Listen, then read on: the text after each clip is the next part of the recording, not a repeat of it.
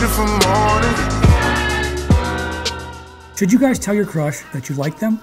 What's going on, guys? Angel here, Better Men Daily. Thank you guys so much for joining me today. If you guys are on YouTube, make sure you guys go ahead and smash the like button and subscribe. If you guys are listening on the podcast, thank you guys so much. If you guys follow on TikTok, keep enjoying the content there as well. So let's talk about this, guys. Should you tell your crush that you like them? And the answer is absolutely yes. Yes, you should. And there are a few reasons why you should. But first, let's talk about why people think that you shouldn't.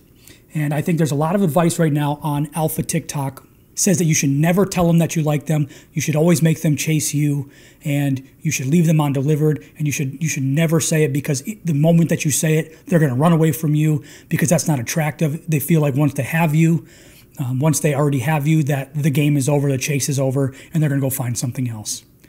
And I think that is completely, completely wrong. Um, will it happen sometimes that way? Absolutely. But I think the reason it happens that way is because the person, the man on the on the other side of it, isn't ready or mature enough. Um, it could be, it could very well be that the the female, the the other person, the other the person that you're pursuing, isn't ready or mature enough either. But I think if you're going to tell your crush that you like them, I think that you you probably should have already vetted them a little bit in terms of are they mature enough, are they in the right place to accept what you're giving them.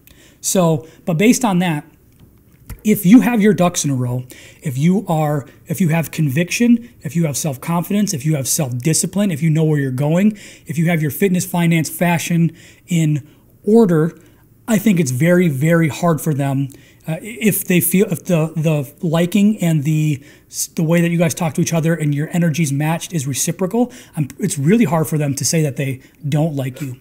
And if they say that they actually don't like you, they're probably not ready enough for the level of maturity that you're bringing, and they're probably going to run for you because they have to fix things about them before they could actually be with somebody like you. And that a lot of times is the case for somebody who, like I said, has their ducks in a row, who's at peace with themselves, who doesn't have insecurities, who isn't holding emotional baggage. But if you're not in that position, I don't think you're in a place to date yet. I think you got you should really take the time to work on yourself. And that's what alpha TikTok, fake alpha TikTok, that's what alpha TikTok preaches that you should be working on yourself, becoming better. And a lot of times they use exercise or fitness to do that. But there are other ways that you can get better too. You can get better in your style, you can get better in your finances, you can get better with emotional intelligence and mindset like we're doing right now. You can get better with your mental health. There are so many factors that you guys can get better in before you guys pursue dating and trying to find the one. Ultimately, should you tell your crush? Yes, you should tell your crush because it does a few things. The first thing it does is it tells them directly your intentions. Your intentions are to find somebody to be with for a long term relationship. And if they're not ready for that, that's their burden to bear. That's their maturity that they need to figure out because you're mature enough and you're bringing it up and you're ready for that.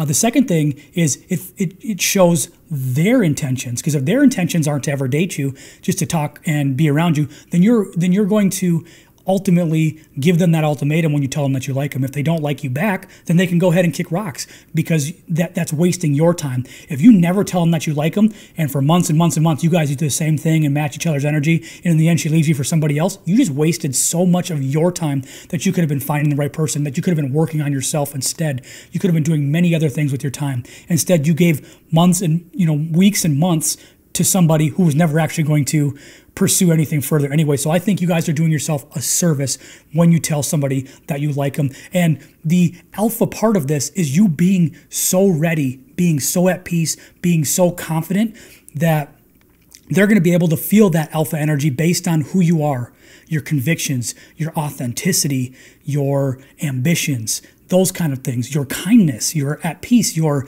gentleman um, those are alpha traits. Those are actually alpha traits. Everybody says that they're beta. The alpha beta thing is absolutely ridiculous in my mind.